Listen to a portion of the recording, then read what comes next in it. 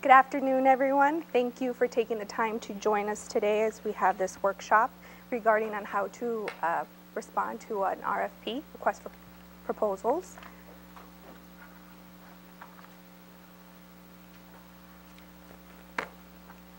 So at this time, I will ask everyone to please turn off your electronic devices and just to ensure that we are not interrupted during this. Um, any questions you might have, I ask you to please write them down and we'll wait until the end of the session to proceed with any questions that you might have.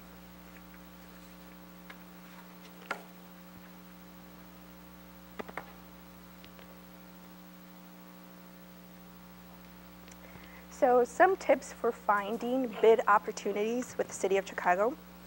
So bids valued over $100,000 and RFPs, they're, they're publicly advertised in the Chicago Sun-Times.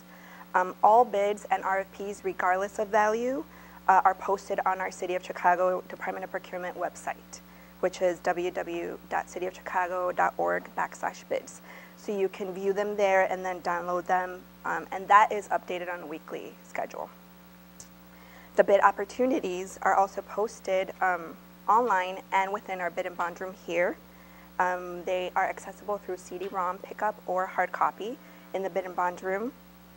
Um, I'll mention a couple of things that Victoria has already kind of touched on just as a, to go over it a little bit more. So she mentioned the City of Chicago buying plan which is a really good resource for everyone who um, would like to kind of see, it's kind of something that we would consider a catalog of sorts where you will see the forecasted projects or bids that the City of Chicago departments and the sister agencies are looking um, to buy or purchase within the next four quarters. So it's a yearly forecast catalog. It's a really good resource for everyone to kind of see um, what's upcoming and what the city is looking to purchase. So that's definitely a good resource for everyone.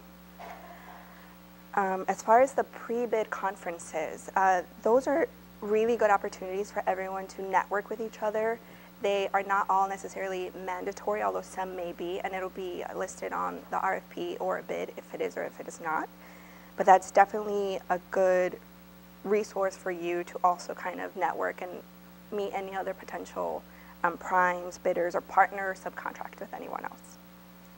Um, it's a good way to learn about projects and bids. So in the event, though, that you are unable to attend the pre-bid conference, uh, we have something that's called the bid takeout list. So that list, uh, which is also held here within the bid and bond room, and you can also find on the DPS website, will let you know if you were unable to come or if you would like a copy on who attended the pre-submittal conference, who attended the pre-bid conference, um, and that will let you know who was here. So that's also a good resource for you of what we have.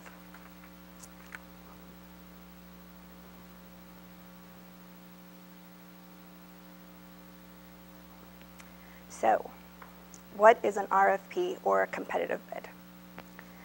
So the request for proposals and RFPs, um, they're the method of procurement that we use for service consultants. Um, for any new projects or professional services. It kind of helps us outline the project that the city wants to do, and it reflects the certain parameters that we have for that specific project. Um, and it's our way of uh, the city producing the RFP and letting you know what that project is or what we're looking for. It's also project specific. Um, so this is something that when the city does not have in-house technical experts or resources, this is the method that we procure um, to get these services. So an example of that would be like project management services. So let's say that that would be something that we would be able to consider an RFP. Um, so it describes the objectives, um, but doesn't specify it in detail on how the job will be done. For example, on a daily basis, um, that's what the RFP would do.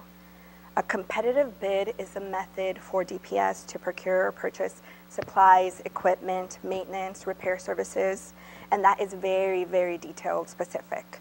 Um, it's structured specific, so it has the quantities, a blanket indefinite quantity or usage, goods and services. So for example, indefinite usage would be, let's say uh, the city wants to purchase topsoil and there's an estimated quantity of how much topsoil the city wants to procure, but that can also kind of be exceeded. So that's what we mean by indefinite quanti- quantities. The proposal page line items um, have a definite use, unit of measure and specific or estimated quantities, as I mentioned as well.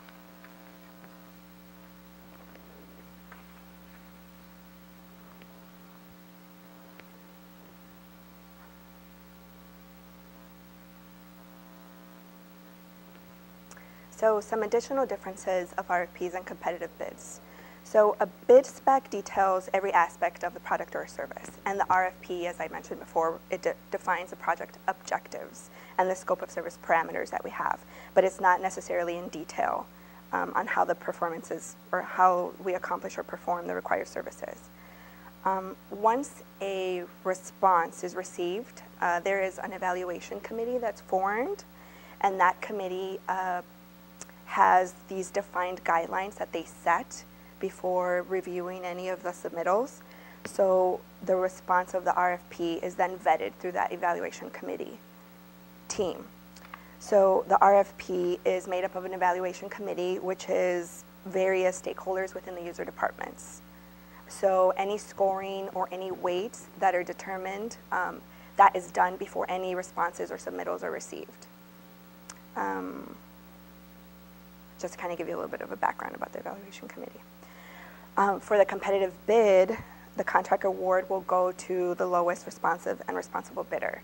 So the difference on um, an RFP is that not necessarily if you are the lowest responsive responsible bidder for that, the evaluation committee has ver various um, line items that they'll review as part of the guidelines, and you're not necessarily uh, the highest qualified. So that would be a little bit slightly different of an RFP and a bid, because the bid will definitely uh, is more towards the lowest responsible and responsive bidder. Um, so price is the primary factor in a bid, just to kind of, you know, that's a little bit of a difference.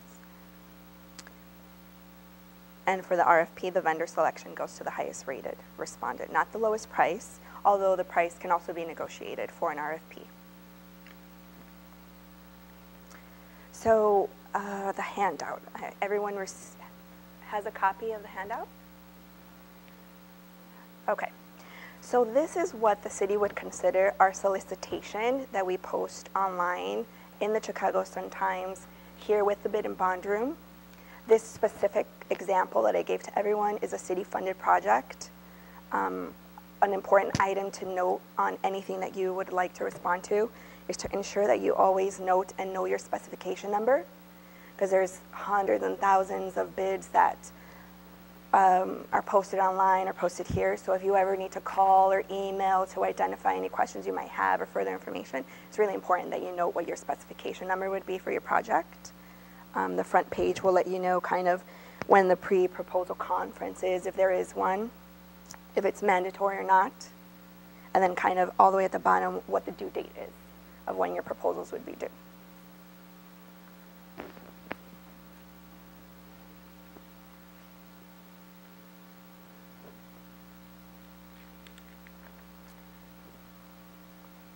So the RFP is standardized depending on what the funding would be. So any city funded or state federal funding will drive what some of the requirements would be for the RFP. So it's definitely very important to kind of review this and see if it's city funded, federally funded, because some of the requirements it would be driven through, that would determine what the RFP is driven by. For example, on page 73, so we'll talk about MBE and WBE. That's minority business enterprises and women business enterprises. So you'll notice on the exhibit of any RFP that you pick up, it will kind of let you know what the MBE goal is and the WBE contract goal is. Our standard for the city of Chicago is 25% and 5%. However, there are times when the MBE, WBE goals can vary, and that's dependent on the user department. They would let us know if it's a niche project or if there's a maintenance equipment involved or there's not enough MBE, WBE firms. So even though the standard is 25% and 5%, as you notice, like with this example that you guys have, this one is 10% and 5%. And it depends like on, on what the situation was for this specific RFP.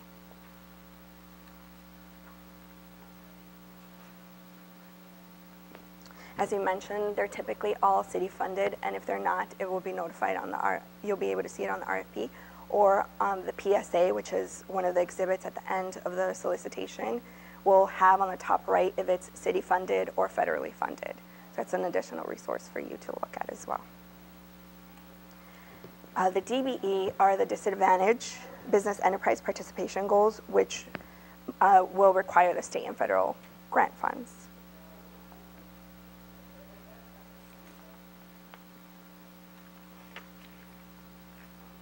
I'm gonna drink some water.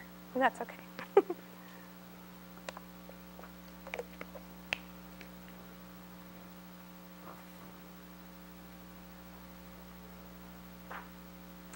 So now we're going to go over the proposal of the format. Um, you can kind of reference on page seven of the RFP. We'll go over a little bit of the format of the proposals.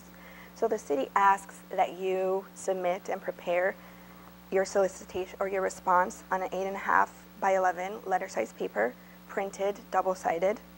We also ask that it is uh, placed on recycled paper. Um, paper clips, binder clips are completely okay. Many times, a lot of the binders, they're really nice. They come in in beautiful formats and just wound, but unfortunately, sometimes we'd have to take that apart because the EC committee would need to review that. So it doesn't need to be um, this beautiful, elaborate binder. Paper clips, binder clips are absolutely okay. You can submit an original, please, and a required copy. Uh, a lot of times, I'll also mention this, we'll have the number of proposals that are to be submitted. So it'll say 10, uh, one original, and let's say five hard copies, and then in addition to that, we'll ask for one redacted copy.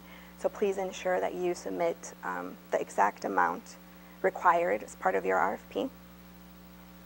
It's really important that the sections are properly separated and labeled, and as we proceed, you'll see exactly why it's really important to kind of have that organized and tabbed, and um, you'll see how important that is once we uh, proceed a little bit further. Proposals must also be clear, concise, and well organized.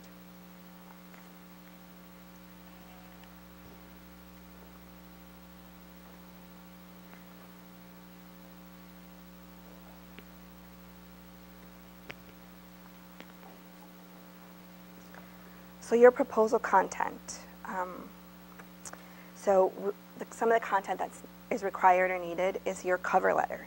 So your cover letter must be signed by an authorized representative.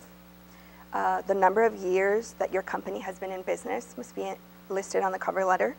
The identity and the of the legal name, the address of your headquarters, your legal form, um, who the principal contact for your proposal would be, or the any oral presentations or negotiations, your firm's commitment to comply with MBE and WBE requirements, a statement of any objections or comments to the professional service agreement.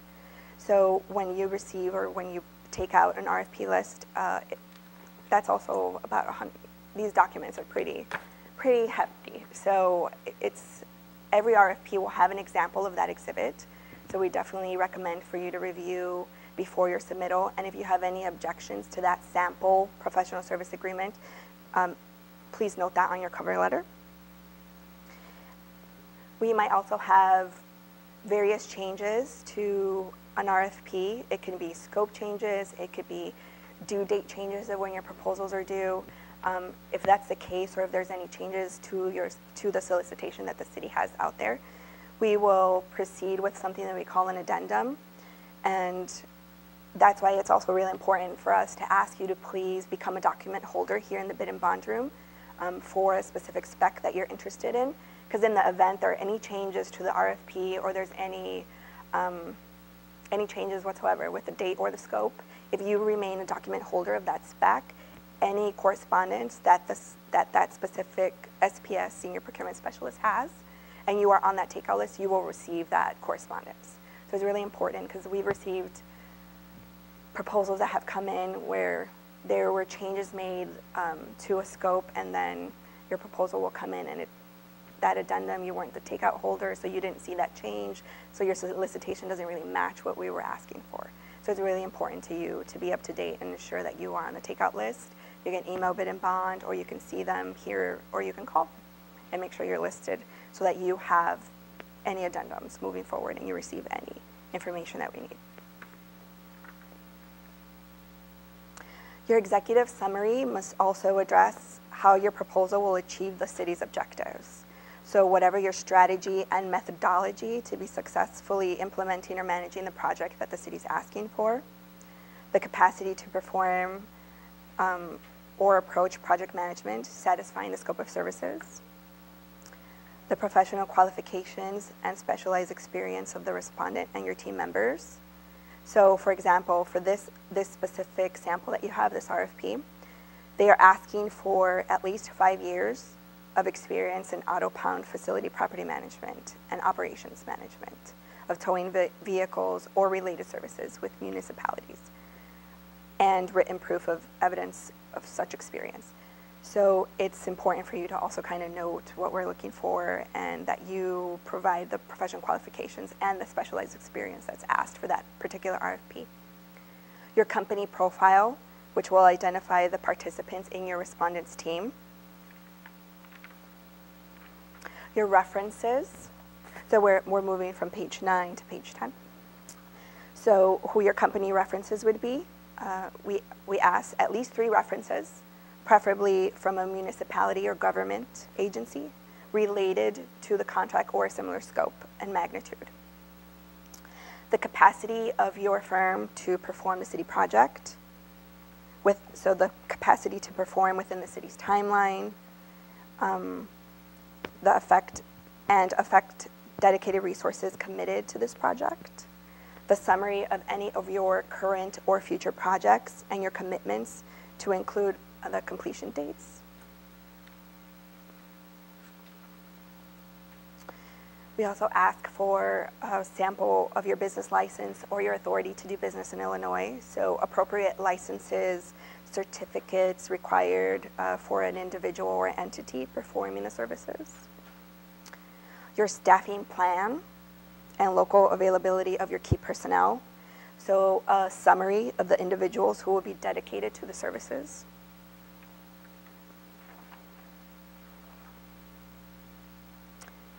Your implementation management plan and approach. So any comprehensive and detailed overall plan for implementing the scope of services for the specific RFP. Your approach to implementing the project. Your organiza organizational chart or your organization chart uh, any dedicated resources to this particular RFP, which would include any equipment, hardware, software technologies, um, your itemized cost proposal, around page 16. So as far as your cost proposal, it's really important that you also submit your pricing in the format that is given within each individual RFP to keep it concise and streamlined across the board of all proposals. So we ask you to please ensure that you provide your cost proposal in the exact format that the city has in the RFP and the way that it's outlined in, in the designated exhibit.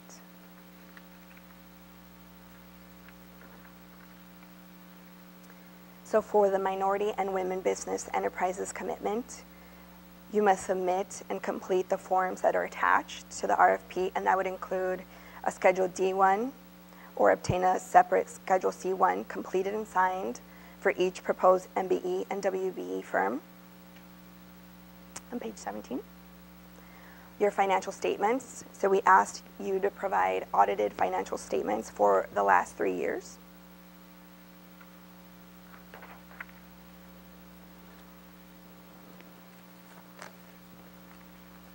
We ask for you to complete an economic disclosure statement. The economic disclosure statement, the EDS, is the online system that the city has.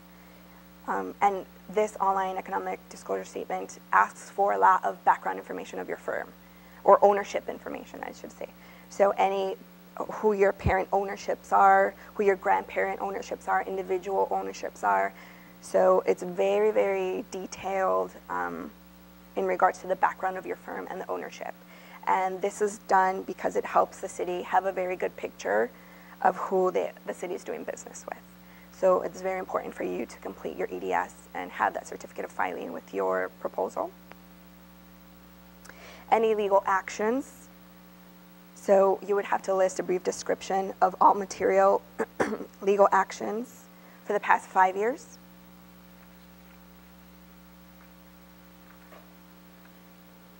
Your insurance. So for the insurance, we would need a statement that your firm can actually comply with the insurance requirements. So the insurance certificate of insurance is not necessarily needed at the time of your submittal, but if your firm at the point of award, so if your firm is chosen, selected, negotiated, and you are awarded the contract, at that time of contract award is when you will be asked to provide the certificate of insurance. So when you do submit the proposal, however, we'll need a statement about, of your firm complying with the city requirements. And then at contract award is when we would need the evidence of insurance.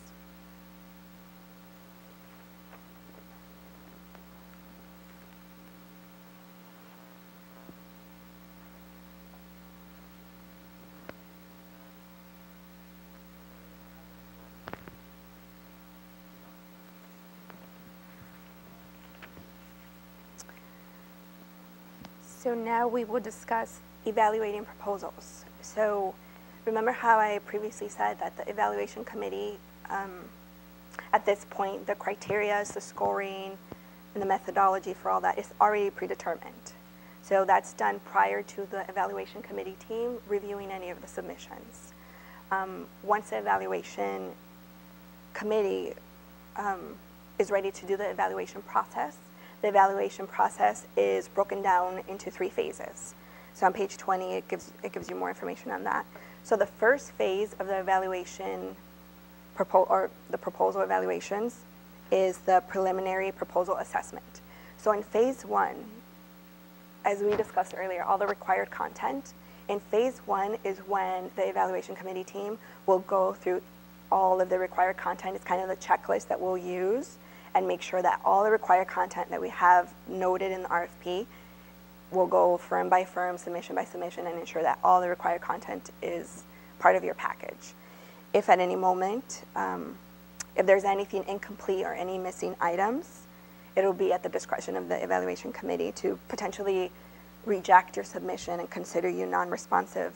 Um, so it's really important to ensure that all your required content is in, because at phase one, we'll do the checklist, and if you miss anything, it can definitely eliminate you, and you, the evaluation committee will not even review your submittal at the phase two. So the phase two is the in-depth review of the proposal. That's where the evaluation committee will go in and review more in depth of what your proposal was. Phase three is what would be considered the site visit, oral presentations, or potentially even operations demonstrations. Uh, that is optional. It's at um, the discretion of the evaluation committee if they choose to shortlist your firm, because that's when the shortlist firms would be determined, and if your firm is considered that, and we would like for you to come back and ask a couple of questions regarding um, a presentation or product system demonstration, or we need any more clarification and any information of your proposal, or ask you any additional questions, it's in phase three that we would do that. So now for phase two, the evaluation criteria. So the evaluation committee will review your ability to provide all, your, all the services, the qualifications and experience, page 21, the quality, comprehensiveness, and adequacy of the proposed implementation plan, your cost proposal and compensation schedule, your MBE and WBE plan, any legal actions, the financial stability of your firm, your ability to uh, have compliance with laws and ordinances and statutes, and the degree of you uh, being respondent and accepting the city's terms and conditions. And this is where we ask you again to review the PSA, Professional Service Agreement, that's an exhibit.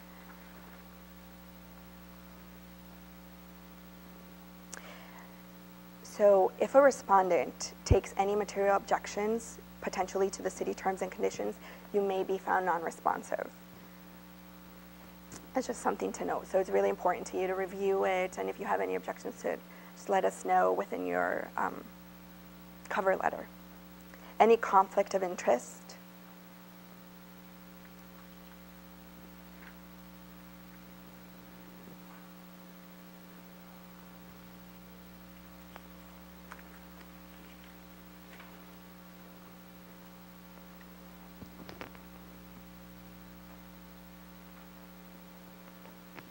So we'll go over some of the tips for preparing your RFP.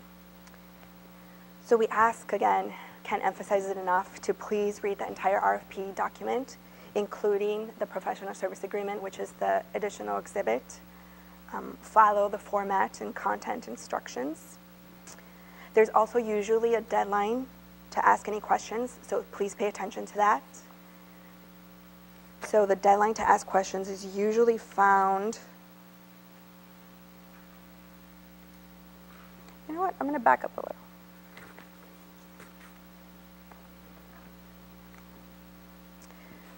Regarding communication as well, I'll mention this now. So respondents are asked to communicate directly and only with the Department of Procurement Services. So the city asks that you please stay with one point of contact, which would be the senior procurement specialist for that specific RFP. I've already mentioned the pre-proposal um, or pre-bid conferences. Those are non-mandatory. This one specifically actually was mandatory. So there usually is a deadline. So you'll find that under the general information and guidelines. So if there's any deadline to submit any questions that you might have prior to the pre-submittal or after the pre-submittal if you're not able to attend, um, that's where it will tell you what date you have until to send any questions you might have to that specific SPS.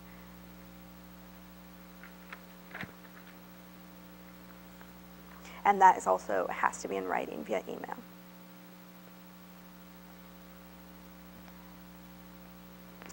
Be responsive to the RFP submittal requirements. So again, please submit all of the required information and documents.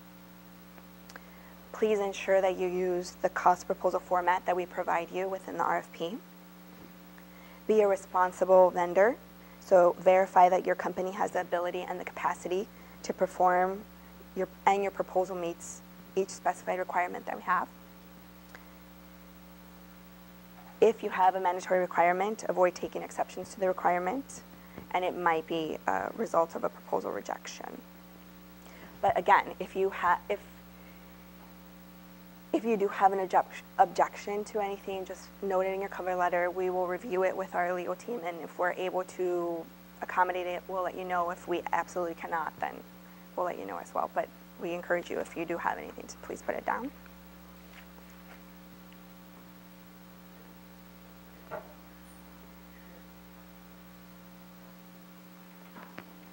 So some additional tips for preparing the RFP proposal.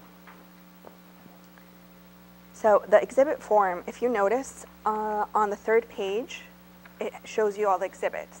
So some of the exhibits are going to be universally the same for every RFP. But there, there will be other ones depending on what the RFP is asking for that you'll find like different variants of exhibits. Like for example, this one, so some of the universal exhibits that you'll find in every RFP is the company profile, the company references and client information, the special conditions, the MBEWB commitment, the online EDS instructions, and the contract and insurance requirements. So those are universally found on every RFP. But if you notice for this one, since it's specifically for impound facility management, it has a couple of additional exhibits, like the boot release, intentionally omitted, and other information, data protection, policy. But initially, those exhibits will be universal across the board. So it's definitely important to kind of review the exhibits and make sure that your, your uh, firm would be able to comply with that as well. I didn't print out the exhibit of the professional service agreement just because it's also a pretty, a pretty thick uh, copy, but you'll find it online if you go on our cityofchicago.org backslash bids. It will show you the solicitation, and then right under that, it can, It's either part of the solicitation or right under it, noted as an exhibit. We ask that you please, again, verify the existence of any addendums issued. It's really important for you, again, I'll emphasize it one more time, to please ensure that you're registered as a document holder with a bid and bond room, just so that ensures that you receive any up-to-date information per- pertaining to any of the RFPs that you are looking to bid for.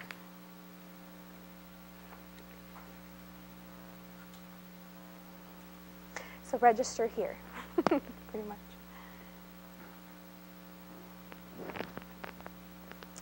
Please ensure that you submit your proposal on time in a complete sealed package, no later than 4 o'clock Central Standard Time, the bid and bond room. If there is a variance or a different time, please make sure that that's noted in your RFP. It'll let you know. No late proposals. Um, late proposals may be rejected by the chief procurement officer. So it's very important that you ensure that your proposal is in, and it is actually submitted here in the bid and bond room. There have been instances where we've received them up on our room 806, and they're act- actually supposed to come down here. They keep it behind until it's the date of the bid closing or bid opening. So it's sealed, secure, stays here. Nobody sees it until that date comes, and then they submit it to us upstairs. It's really important that you have it on time and down here. Your cover letter must be signed by an authorized officer. Acknowledge any addendum issued in your cover letter. Please pay attention to any additional instructions on the RFP for your submission requirements.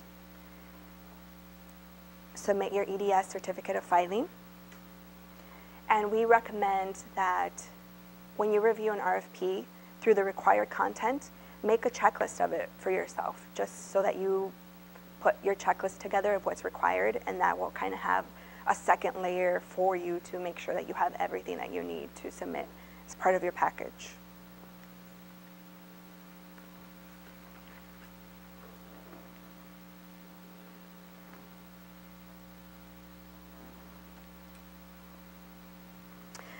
So, proposal, evaluation, and award. So, respond, so if you respond to an RFP, that information is posted online under something that we, are, we call bid tabulations. So that will only have the name of the respondent and when it was submitted. So if you're looking to see, oh, who responded to this particular RFP, um, that information would be online. However, no other information outside of putting under the bid tabulations the name of the respondent and when it was submitted will be um, given to the public until after the contract is awarded and completed. All Freedom of Information Act requests are going to be received and held here until after the contract is awarded. That's also something that we will not be able to do until after the contract award is finalized. Debriefing meeting can also be requested if you respond to an RFP and you would like to be debriefed at the end. Let's say you may not have been selected. You can also request that in writing to the Chief Procurement Officer. And that again will also not be done until after contract award is finalized. So you also have that, that option.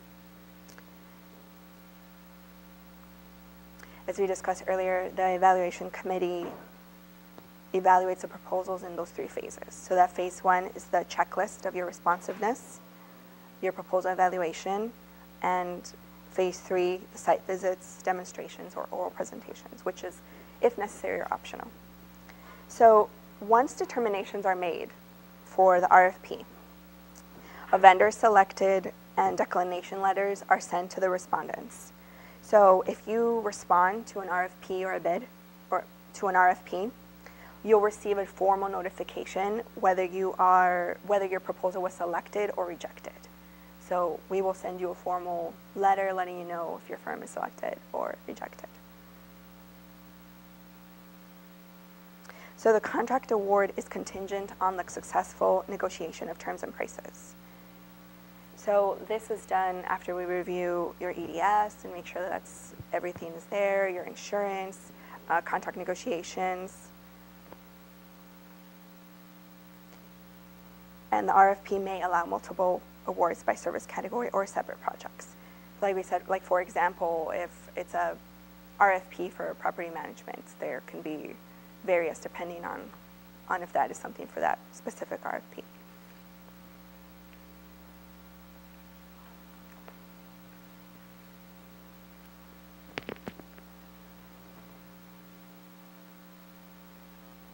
So now I'll open it up to you guys. You guys have any questions you'd like to ask us? I have my expert here.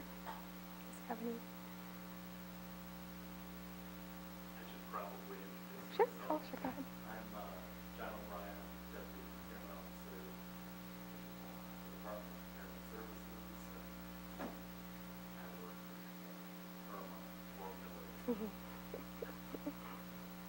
you guys have any questions, this is the time to ask.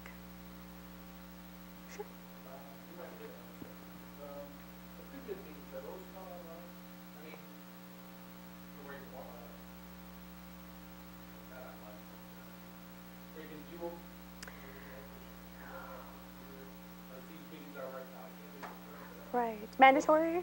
Or, oh, uh, video blog. YouTube?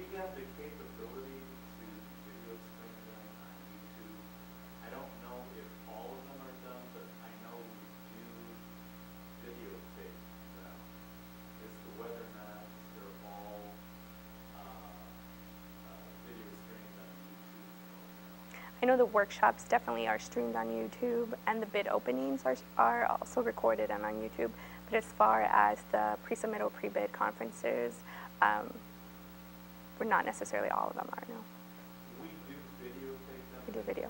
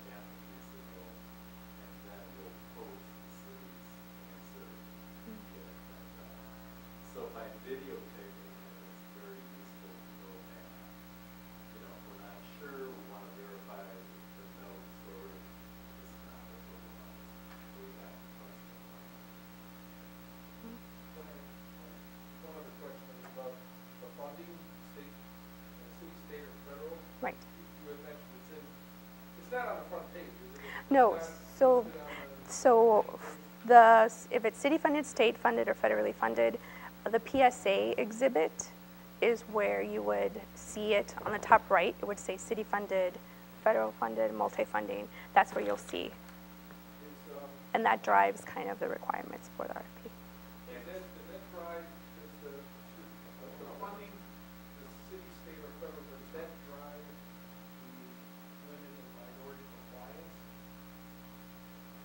Uh, if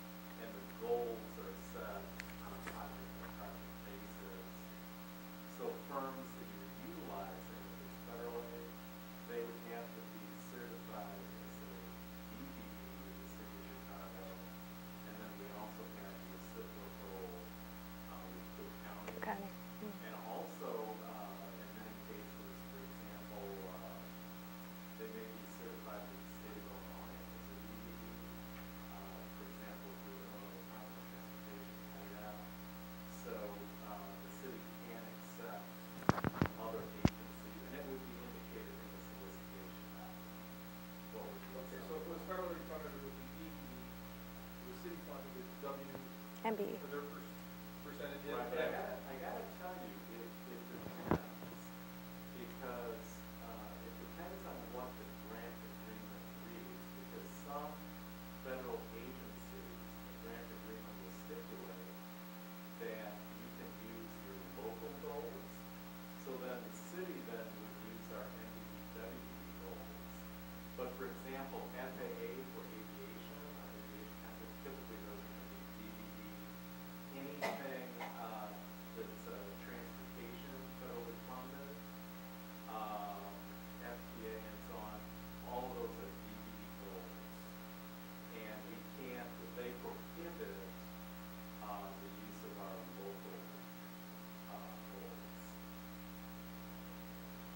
Any other questions? Sure.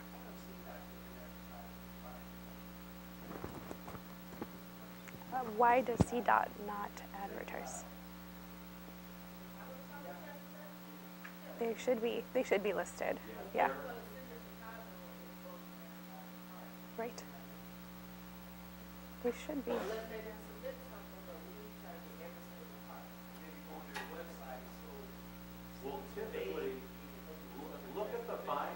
Transportation, that's what they're under. Yeah, so city. Right. Transportation. If you, if you go to our homepage, we have links to other departments.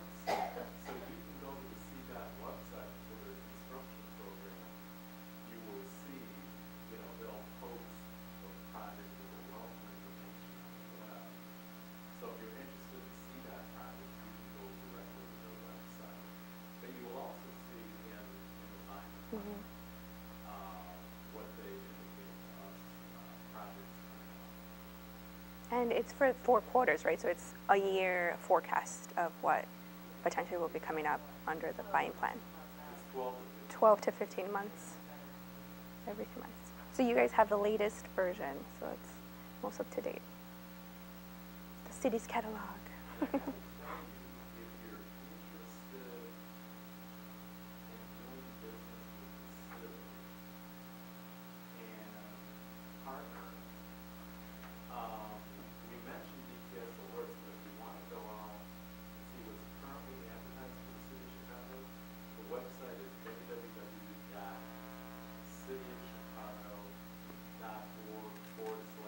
It's.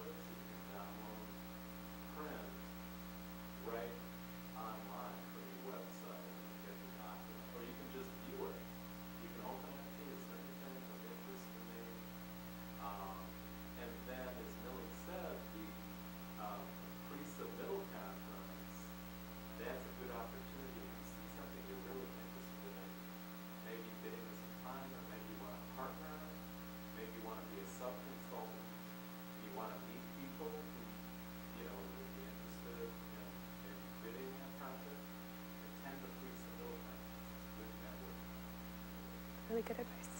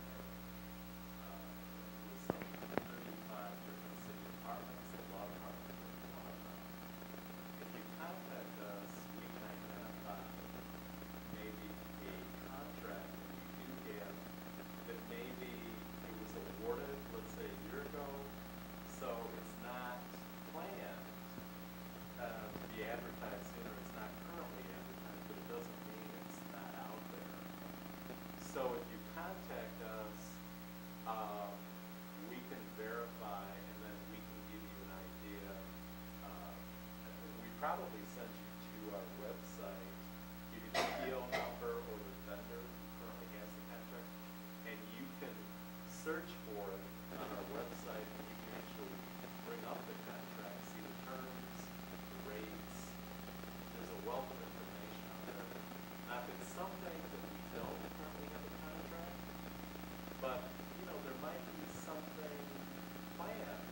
let's say, by the law department.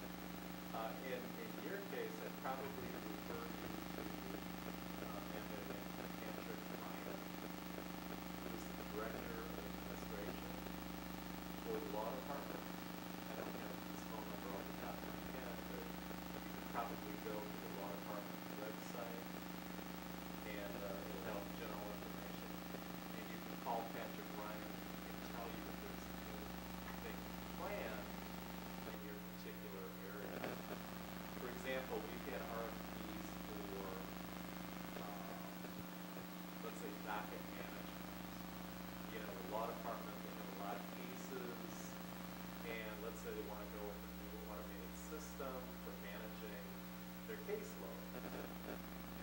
fact that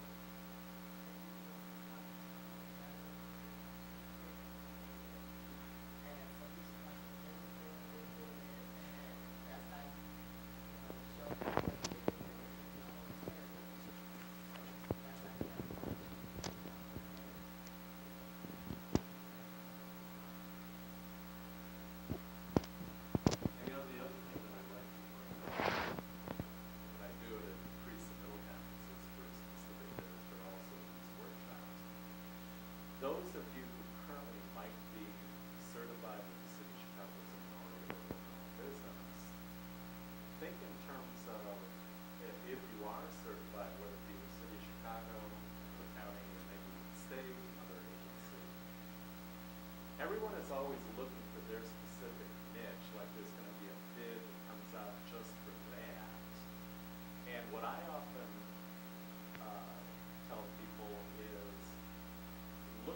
business is potentially where you can partner, although it's not something directly related to your field, you might be able to participate or partner, they can get credit because you're certified with the city, and they can utilize your services.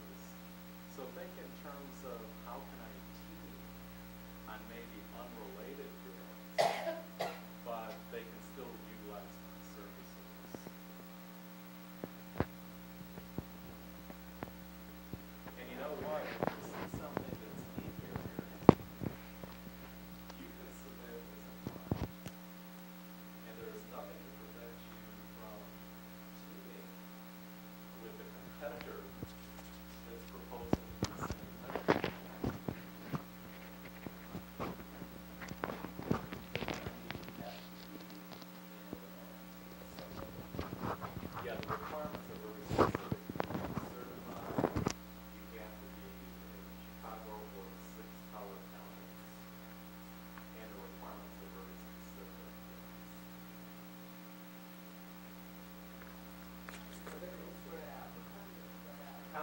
Yep.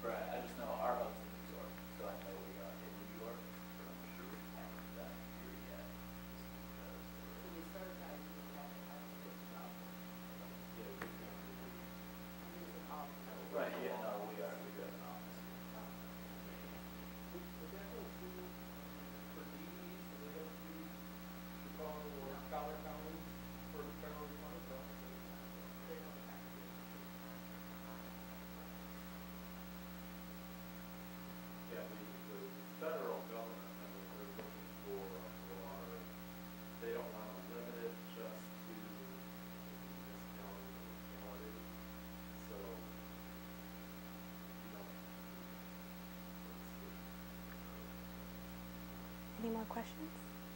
That's it. Well, thank you for coming. We ask everyone. Evaluation form, please. Thank you for coming. Thank you for visiting.